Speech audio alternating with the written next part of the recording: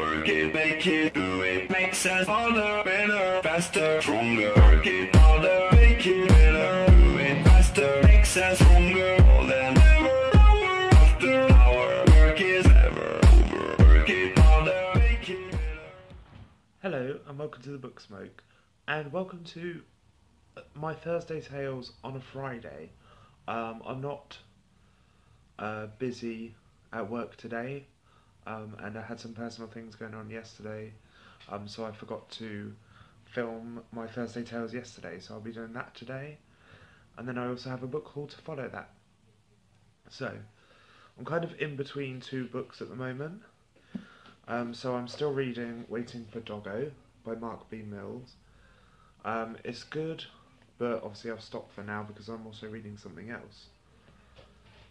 And that something else is Reawakened by Colleen Houck, which is uh, one of the books I got for review. It's brilliant so far. not going to go into detail because I haven't finished it.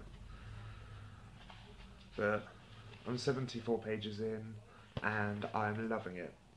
It's all about um, ancient Egyptian mythology and stuff like that.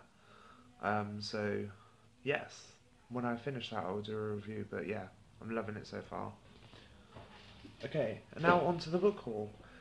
So, I have one book that I received for a review, and five that I bought myself. So, the first book I have is the one that I received for review. I was sent this from Headline via Bookbridgr, and it's The Life I Left Behind by Colette McBeth. I like this cover a lot. And even the press release. I'll show you the press release, it's really pretty. Look at that. Very pretty, but anyway. It says, Six years ago, Melody was left for dead. When the body of another woman, Eve, is discovered, Melody knows her attacker is still out there. The only way she could survive is to follow the clues of the life that Eve left behind. So, it's written from the perspective of a girl who is dead. Um, yeah, and she knows who killed this other girl. But obviously, she can't do much about it because she's dead. So, that's a really interesting premise. Um, and this comes out on the 13th of August. Wow. Most of the review books I've received this week, last week, have come out 13th of August, so that's interesting. But yes. So that is The Life I Left Behind by Colette McBeth. Um, okay, moving on to the books I bought. The first one is Being Mortal by Atul Gawande. And I saw this on the front, Illness, Medicine and What Matters in the End, and I really needed it because if you know, I recently read Shaking Hands with Death by Terry Pratchett, which is um, a speech that Terry Pratchett gave, but his it's his argument against the right to be able to choose whether to live or die if you have a terminal illness, and it is brilliant. I've done a review for it, so you can check that out. But it says, never before has aging been such an important topic.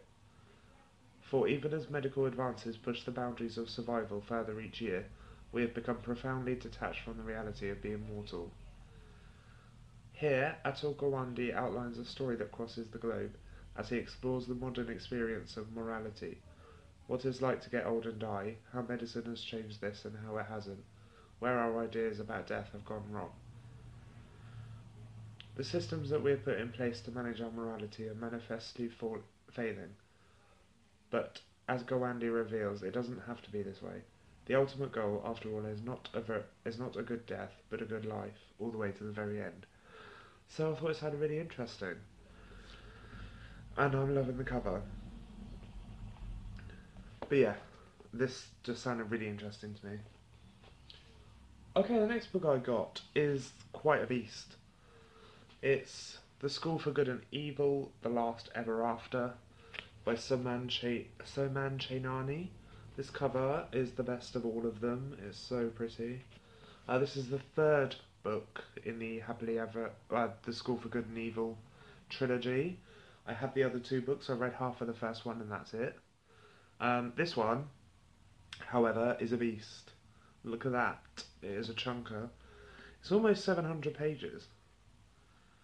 Yeah, 655 pages. It's humongous, but if you don't know what the other books are, that is them. But yes, I'm not going to read you the synopsis because it's the third book and I've only read half of the first book. But really excited to crack on with this trilogy and get it done. Yes. Okay, next book I got sounded really interesting to me.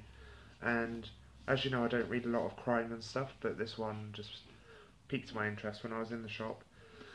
And this is In a Dark, Dark Wood by Ruth Ware. On the front it says, Someone's getting married, someone's getting murdered. And I do love the cover.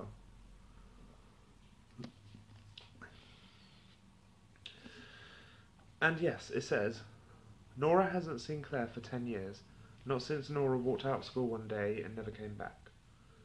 Until out of the blue an invitation to Claire's hen do arrives. Is this a chance for Nora to finally put her past behind her? But something goes wrong, very wrong. Some things can't stay secret forever. So yes, I'm very intrigued by this one.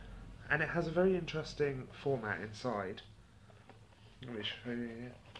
Like, it's all the text is central, and it's quite large, which I think is quite strange, but this is her debut thriller, and I'm excited for it. And under the dust jacket, it looks like this. It's gorgeous. So, yes, excited for In a Dark Dark Wood.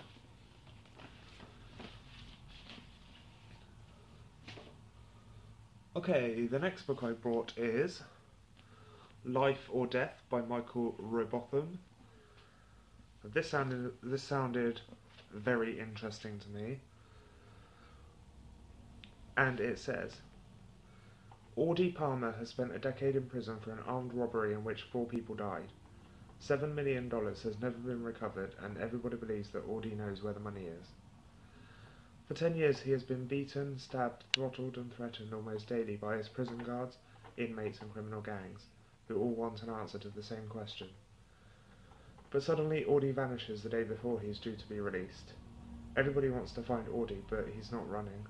Instead, he's trying to save a life, and not just his own.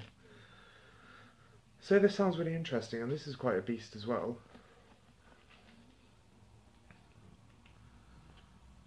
Including the epilogue, this is like 520 pages, so it's quite big.